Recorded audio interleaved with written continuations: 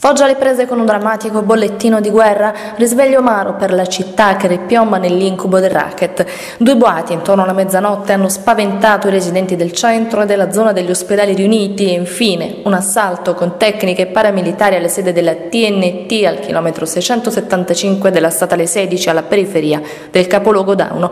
Il primo ordigno è stato fatto saltare poco prima della mezzanotte davanti all'ingresso del barlume sotto i portici di piazza Cavour. L'esplosione ha mandato in frantumi frantumi le vetrate del bar e danneggiato gli infissi esterni, nessun danno all'interno del locale, per fortuna nessun ferito.